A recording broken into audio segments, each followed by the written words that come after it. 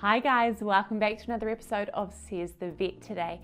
Answering the question for you, do our grazing animals, ruminants, sheep, goats and cattle need dental care like horses do? The answer is yes and no.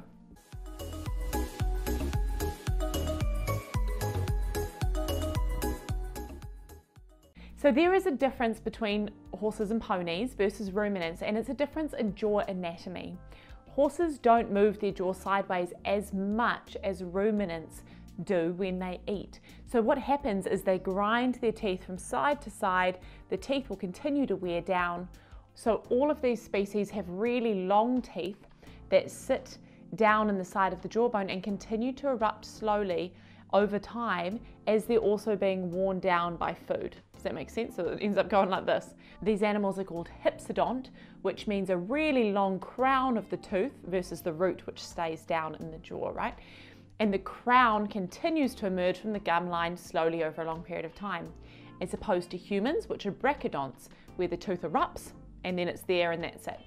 Now, because the teeth in hypsodonts in our grazers are constantly wearing down, you will end up with specific patterns of wear on those teeth, and that's why they need dentals. And what we end up seeing is sharp edges on the outside of the top teeth and sharp edges on the inside of the bottom teeth. And those sharp edges can trap food, they can cause periodontal disease, they cut the inside of the cheek or the tongue and cause ulceration.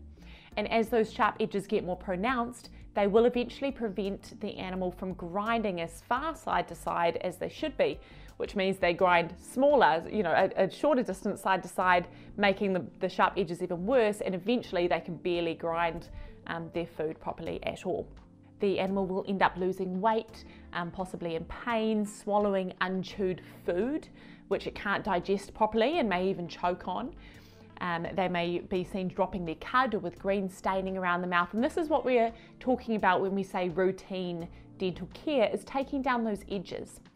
Now with horses, the anatomy of the jaw means they already don't grind as far side to side as our other grazing species. So those edges become pronounced really quickly. Now I'm not an equine vet, it's a very specific field and I'm not an equine vet specifically, but my understanding is that in horses and ponies, it's really recommended yearly, sometimes even more. Now in ruminants, it takes a little longer for those sharp edges to form because their jaws move side to side in a much more exaggerated fashion. So the surfaces wear a little more evenly, if that makes sense.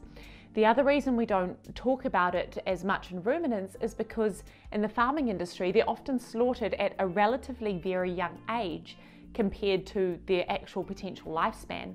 But I know many pet sheep in my area that are 15 plus, even approaching 20 years old, which is really giving horses a run for their money.